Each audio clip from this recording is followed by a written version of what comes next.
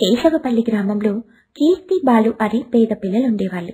వాళ్ళ తల్లి తులసమ్మ చనిపోవడంతో తండ్రి యాదయ్య గంగమ్మ అనే ఒక గయ్యాల్ని రెండో పెళ్ళి చేసుకున్నాడు. ఒక విధంగా కీర్తి బాలుకి సవతి తల్లి. అయినప్పటికీ కీర్తి బాలు అమ్మ అమ్మ అంటూ ఆప్యాయతగా పిలిచేవాళ్ళు. అది ఆమెకు నచ్చేది కాదు. దాంతో ఒకరోజు చీకటి పడ్డాక నీకెన్నిసార్లు చెప్పాలి? నన్ను అమ్మ అని పిలవద్దని అమ్మగారని పిలవాలి.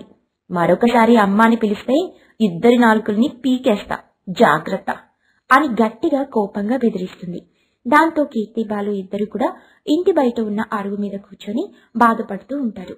అప్పుడు బాలు అమ్మా అని పిలవడం తప్ప అక్క? తప్పు కాదు తమ్ముడు. అమ్మ అని పిలుపులో దాగి ఉన్న అనురాగం ఆప్యాయత అమ్మ కాని మన అమ్మగారికి ఎలా తెలుస్తాయి చెప్పు? ఆ అది మన అమ్మ బతికుంటే మనం ఈరోజు ఇలా ఇక్కడ కూర్చొని బాధపడే వాళ్ళం కాదు కదా అక్క? నిజమే తమ్ముడు కానీ అమ్మ దేవుడి దగ్గరికి వెళ్ళిపోయింది కదా.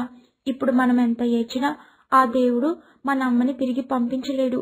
మనం ఇప్పుడు అమ్మగారని పిలుచుకునే ఈ అమ్మనే మన అమ్మగా చూసుకోవాలి అని బాధపడుతూ కన్నీళ్ళు కార్చుతూ ఉంటారు. అప్పుడే తోపుడు బండి మీద ఊరూరా తిరుగుతూ గుమ్మడికాయలు అమ్ముకుంటూ అలా వచ్చిన డబ్బులతోనే కుటుంబాన్ని పోషించుకునే తండ్రి యాదయ్య గుమ్మడికాయల బండి తీసుకుని ఇంటికొస్తాడు తండ్రిని చూసి కన్నీళ్ళను తుడుచుకుంటారు. జీవం లేని నవ్వుని పెదాల మీదకి తెచ్చుకుంటారు. అప్పుడు యాదయ్య అక్క తమ్ముళ్ళిద్దరూ ఇంకా బయట ఏం చేస్తున్నారు? చల్లగా గాలి వీస్తుంటే బయట ఉండడం అంత మంచిది కాదు. ఇంట్లోకి పదండి. నీకోసమే చూస్తున్నాం నాన్న అని అంటుంది కీర్తి.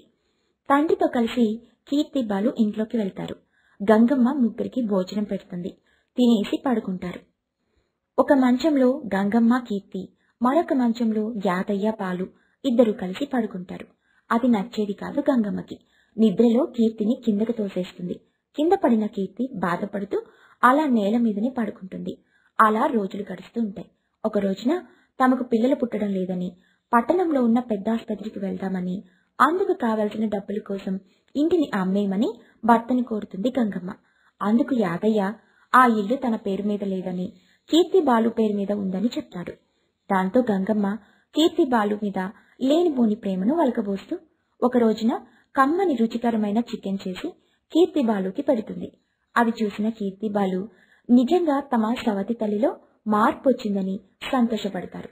అన్నం తిన్న తర్వాత కీర్తి బాలుని దగ్గర కూర్చోబెట్టుకుని కథలు కబుర్లు చెప్పిన తర్వాత ఉన్నట్టుండి బాధని నటిస్తూ నాకు ఇలా రోజు మీకు ప్రేమను పంచాలని ఉందమ్మా కానీ నాకు ఆరోగ్యం బాగలేకపోవడం వల్లే నేను మిమ్మల్ని చూడలేకపోతున్నాను. అమ్మ లాంటి అమ్మకి ఆరోగ్యం బాగలేదని తెలియగానే కీర్తి బాలు తల్లడిల్లిపోతారు. ఏమైందని ఆరా తీస్తారు. ఏదో కట్టుకథ చెప్పి చివరికి ఇల్లును అమ్మే భూపతికి అమ్మేస్తుంది. అలా వచ్చిన డబ్బులతో సరికొత్త ఇంటిని కొంటుంది. మిగిలిన డబ్బులతో కొత్త బట్టలు నగలు కొనుక్కుంటుంది. ఇప్పుడు కొత్త ఇంటిని తన పేరు మీద రాయించుకుంటుంది. ఇక అప్పటినుంచి గంగమ్మలో దాగిన సవతి తల్లి బయటకొస్తుంది. అమ్మగారని పిలవమంటుంది. కారం మెతుకులు పెడుతుంది.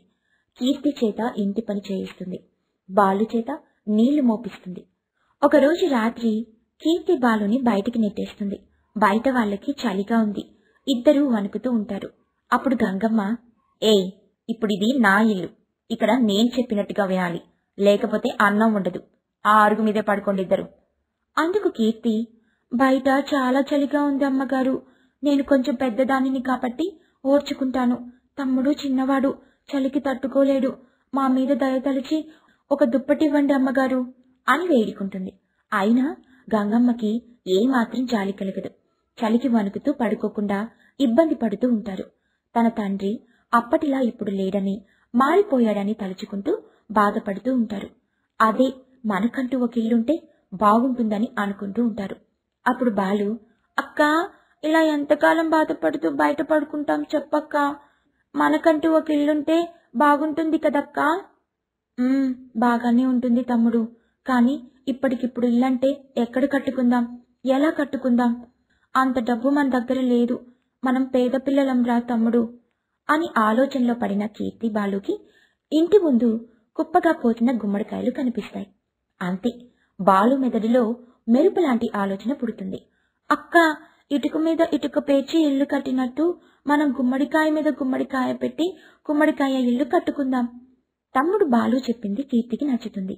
ఒకరోజు రాత్రి చలికి తట్టుకోలేక కట్టెల్ని తెచ్చి మంట పెట్టుకుంటారు. ఆ మంటలో గుమ్మడికాయ ఇల్లు కట్టడం మొదలు పెడతారు గంగమ్మ యాదయ్య లేచేసరికి ఇంటి ముందు గుమ్మడికాయల ఇల్లు ఉంటుంది. గంగమ్మ పెద్ద నోరేసుకుని కీర్తి బాలు మీద అరుస్తుంది. ఆ అరుపులు విని అటుగా వెళ్తున్న ఆ ఊరి సర్పంచ్ గంగమ్మ ఇంటికి వస్తాడు. కీర్తి బాలు ద్వారా గంగమ్మ మోసం చేసి ఇల్లు రాయించుకుని అమ్ముకోవడం తెలుసుకుంటాడు. అప్పుడు సర్పంచ్ ఏం గంగమ్మ చిన్నపిల్లలని కూడా చూడకుండా ఇంత పాపానికి పూనుకుంటావా? నువ్వసలు మనిషివేనా? అందుకేమో నీకా దేవుడు పిల్లల్నివ్వలేదు. అందుకు గంగమ్మ నేను చేసింది తప్పే ఒప్పుకుంటాను.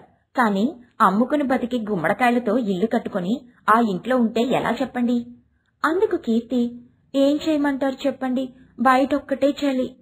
ఎంత బతిమలాడినా మా అమ్మగారు తలుపు తీయడం లేదు కప్పుకోవడానికి తుప్పటి కూడా ఇవ్వడం లేదు. ఇంతలో బాలు కూడా ఆ ఒక చలి కోసమే కాదండి అసలే రాత్రి వేళ ఎటు నుంచి ఏ జంతువు వచ్చి దాడి చేసేదో తెలియదు. కుక్క అరిచినా ఏదైనా శబ్దం వినపడినా చివరికి గాలికి ఆకులు కదిలినా భయపడేవాళ్ళం. అప్పుడేం చేయమంటారు చెప్పండి? పిల్లలు చెప్పింది మొత్తం విని సర్పంచ్ గారు పేద పిల్లలు కట్టుకున్న గుమ్మడికాయల ఇల్లు భలే బాగుందిలే. అందరూ గుమ్మడికాయల ఇంట్లో కలిసింటూ ఆ ఇంటికి అద్దెకి ఇచ్చి ఆ డబ్బుల్ని పిల్లల పేరు మీద జమ చేయాలని తీర్పిస్తున్నాను అని చెప్పి అక్కడి నుంచి వెళ్ళిపోతాడు అలా ఆ రోజు నుంచి గంగమ్మ కీర్తి బాలుని ప్రేమగా చూసుకుంటూ తన ఇంటిని అద్దెకిస్తుంది. ఆ డబ్బుల్ని జమ చేస్తూ సంతోషంగా ఉంది గోవిందరావుపేట గ్రామంలో కీర్తి బాలు అనే ఇద్దరు పేద పిల్లలుండేవాళ్ళు. వాళ్ళ నాన్న రంగయ్య ఒక రౌడీ. కిరాయి డబ్బులు తీసుకుని ఎవరు ఏ పని చేయమంటే ఆ పని చేసేవాడు. అలా వచ్చిన డబ్బులతోనే పిల్లల్ని చూసుకుంటూ చదివించుకుంటూ ఉంటాడు. బాలు పుట్టిన ఏడాదికి రంగయ్య భార్య సుజాత చనిపోతుంది. ఇక అప్పట్నుంచి తాగుడుకు అలవాటు పడి ఏ రాత్రైనా ఇంటికొచ్చేవాడు. అలాంటిది ఒకరోజు రాత్రి తమ తండ్రి ఇంటికి రాలేదని కీర్తి బాలు ఊరి వాళ్ళని అడుగుతూ వెతుకుతూ ఉంటారు. అప్పుడు కీర్తి రంగమ్మక్క మా నాన్నను చూసావా ఎక్కడైనా? అందుకు రంగమ్మ ఆ ఆ తాగిబోకు సచ్చినోడు ఎక్కడ తాగి పడిపోయాడో ఏమో. అయినా మీ నాన్న కోసం వెతికినా దొరకడలే. తాగింది దిగిన తర్వాత వాడే ఇంటికొస్తాడు. మీరింటికెళ్ళండి. అందుకు బాలు మా నాన్నను తీసుకెళ్ళకుండా నేను మా అక్క ఇక్కడి నుంచి వెళ్ళం. మీకు మా నాన్న కనిపిస్తే ఎక్కడ కనిపించాడో చెప్పండి. లేకపోతే లేదు. అందుకు రంగమ్మ ఎంతైనా ఆ రౌడీగాడి కొడుకువు కదా ఆ మాత్రం పొగరుంటుందిలే అని చెప్పేసి కోపంగా అక్కడి నుంచి వెళ్ళిపోతుంది రంగమ్మ. అందుకు కీర్తి అసలే మనం మన నాన్న ఇంటికి రాలేదనే బాధలో ఉన్నాం. అలాంటప్పుడు నువ్వు ఇలా పొగురుగా మాట్లాడితే మనకి మన నాన్న ఎక్కడున్నాడో ఎవరు చెప్పరు. ఎవరూ చెప్పరు. అందుకు బాలు ఎవరిని అడిగినా నాన్నను తిడుతున్న వారే తప్ప అక్కడ ఉన్నాడు ఇక్కడ ఉన్నాడు అని ఎవరైనా చెప్తున్నారా మనకి? అందుకు కీర్తి చెప్పడం లేదు కానీ మన మీద కొంచెం జాలి దయా ఉంటాయి కదా. అలా అయినా చెప్తారని ఆశ తమ్ముడు. అందుకే అడుగుతున్నాను. అందుకు బాలు ఆ ఎవరిని ఏమీ అడగొద్దులే అక్క. మనమే ఊరంతా వెతుకుతాం అని అక్క తమ్ముడు మాట్లాడుకుని వాళ్ళ నాన్న కోసం ఊరంతా తిరుగుతూ వెతుకుతూ ఉంటారు. అలా ఊరు మొత్తం తిరిగి తిరిగి అలసిపోయిన అక్క తమ్ముడికి ఒక చెట్టు కింద పడిపోయిన ఒక వ్యక్తి కనిపిస్తాడు. చూస్తుంటే వాళ్ళ నాన్నలాగే ఉన్నట్టుగా అనిపిస్తుంది వాళ్ళకి. దగ్గరికెళ్ళి చూస్తారు. వాళ్ళ నాన్న రంగయ్యే. పీకల దాకా తాగి సోయి లేకుండా పడిపోయి ఉంటాడు. అప్పుడు బాలు నాన్న నాన్న లే నాన్న మన ఇంటికి వెళ్దాం పదండి. ఉలుకు పలుకు లేకుండా పడి ఉంటాడు రంగయ్య. కీర్తి బాలు ఒకరి తర్వాత ఒకరు ఎంత పిలిచినా రంగయ్య స్పృహలోకి రాడు. ఇంక చేసేదేమీ లేక వాళ్ళకి కొద్ది దూరంలో ఉన్న తోపుడు బండిని తీసుకొచ్చి అతి కష్టం మీద ఆ బండిలో పడుకోబెట్టి నెట్టుకుంటూ తమ ఇంటికొస్తారు. ఇంటి దగ్గర కూడా రంగయ్యని అలా బండి మీదనే ఉంచి దుప్పటిని కప్పుతారు. కీర్తి బాలు పడుకోకుండా తమ తండ్రిని చూస్తూ ఉంటారు. ఇక తెల్లారింది. తోపుడు బండి మీద పడుకున్న రంగయ్యకి రాత్రి తాగింది మొత్తం దిగిపోయింది. లేచి బండి దిగి కీర్తి బాలుని చూస్తాడు. పిల్లలిద్దరూ అరుగు మీద పడుకొనుంటారు. వాళ్ళ దగ్గరికి వెళ్తూ ఉండగా రంగమ్మ అక్కడికొస్తుంది. రాత్రి అతని పిల్లలు అతని కోసం చేసింది మొత్తం చెప్తుంది.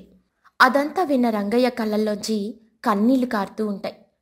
నేను తాగుడు మానేసి నా పిల్లల్ని జాగ్రత్తగా చూసుకుంటాను అనుకొని కన్నీళ్ళను తుడుచుకొని అరుగు మీద పడుకున్న పిల్లల దగ్గరికి వస్తాడు. పిల్లల్ని నిద్రలేపుతాడు. కీర్తి బాలు నిద్రలేస్తారు. అప్పుడు కీర్తి నాన్న ఇప్పుడు నీకు ఎలా ఉంది నాన్న? అందుకు బాలు రాత్రి నువ్వు ఇంటికి రాకపోయేసరికి నేను అక్క ఇద్దరం వెతికి నిన్ను ఇదిగో ఆ తోపుడు బండి మీద ఇంటికి తీసుకొచ్చాం నాన్న. అందుకు రంగయ్య నా పిల్లలకి నేను మాటిస్తున్నాను. ఈ రోజుటి నుంచి నేను తాగను అని రంగయ్య చెప్పడంతో కీర్తి బాలు చాలా సంతోషిస్తారు. రంగయ్య తన రౌడీజాన్ని కొనసాగిస్తూనే పిల్లల్ని చూసుకుంటూ ఉంటాడు. ఒక రోజున కీర్తి బాలుని తీసుకుని చేపలు పట్టడానికి చెరువు దగ్గరికి వెళ్తాడు. అక్కడ చేపల్ని పడుతూ ఉంటాడు. అప్పుడు బాలు నాన్న చెరువులో చేపలు ఎలా ఉంటాయి? ఈ భూమి మీద మనం ఇల్లు కట్టుకొని ఎలా ఉంటున్నామో? చేపలు కూడా నీళ్ళల్లో లోపల ఇల్లు కట్టుకొని ఉంటాయి బాబు. అయితే ఇప్పుడు ఆ చేపలకి చెరువు లోపల ఇల్లుందా నాన్న? అవును బాబు ఉంటుంది. అలా పిల్లలకి చెబుతూ అక్కడ చేపలు పట్టుకొని ఇంటికొస్తారు. రంగయ్య చేపల కూర వండుతాడు. ముళ్ళు లేకుండా రాకుండా చూసి పిల్లలకి తినిపిస్తాడు. తండ్రి ప్రేమకు పిల్లలు పొంగిపోతారు. అలా రోజులు గడుస్తూ ఉంటాయి. మాయదారి కరోనాతో రంగయ్య చనిపోతాడు. ఈ విషయం తెలిసిన ఊరంతా కీర్తి బాలుని ఊరి నుంచి వెలివేస్తారు. ఆ ఊరి పెద్ద మనిషి మీరు పిల్లలు కాబట్టి మంచిగా చెబుతున్నాను వినండి. కీర్తి బాలు మీ నాన్న రంగయ్య కరోనాతో చనిపోయాడు. కాబట్టి అది మీకు కూడా వచ్చుంటుంది. అందుకని మీరు ఈ ఊరు చుట్టుపక్కల ఎక్కడా ఉండొద్దు. ఎక్కడికైనా వెళ్ళండి. అని చెప్పి కీర్తి బాలుని వాళ్ళ బట్టల మూటల్ని వాళ్ళ ముఖాన విసిరేస్తారు. అప్పుడు కీర్తి అయ్యా పెద్దయ్యా ఉన్నట్టుండి వెళ్ళిపోమ్మంటే ఎక్కడికెళ్ళాలి? ఎలా వెళ్ళాలి? నేను తమ్ముడు చిన్న పిల్లలం కదా. అందుకు బాలు అవును పెద్దయ్యా మా ఇంట్లో నుంచి బయటికి రాము. నేను మా అక్క ఇంట్లోనే ఉంటాం. కావాలంటే మీరు బయట నుంచి తాళం వేసుకోండి. అందుకు కీర్తి కూడా కాదనకండి పెద్దయ్య మీ కాళ్ళు మొక్కుతా అంటూ ఏడుస్తూ ఉంటారు కీర్తి బాలు. పిల్లలు అలా బతిమలాడుతుంటే అక్కడున్న ఊరి వాళ్ళ ప్రతి ఒక్కరి హృదయం బాధతో బరువెక్కింది. అయినా కూడా కీర్తి బాలుని ఊరు నుంచి పంపించేశారు. బాధపడుతూ చెరువులో దూకి చనిపోదామని చెరువు దగ్గరికి వస్తారు. అప్పుడు బాలుకి ఒక ఉపాయం తడుతుంది. అక్క మనం కూడా చేపల్లాగా చెరువు లోపల నీళ్ళలో ఇల్లు కట్టుకుందామా? అందుకు కీర్తి నీళ్ళలో ఇల్లు ఎలా కడతాం తమ్ముడు?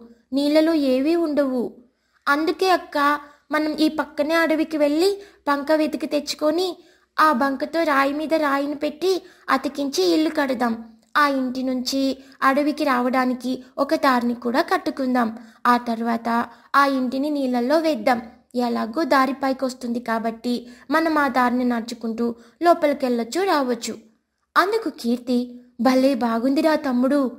అలా కీర్తి బాలు అడవి మొత్తం తిరిగి బంకను వెతికి పట్టుకొని రాయి మీద రాయి పెట్టి అతికించి ఒక ఇంటిని ఆ ఇంటికి దారిని తయారు చేసి నీళ్ళలోకి తోసేస్తారు. అలా అండర్ వాటర్ ఇంట్లో ఉంటూ జీవిస్తూ ఉంటారు.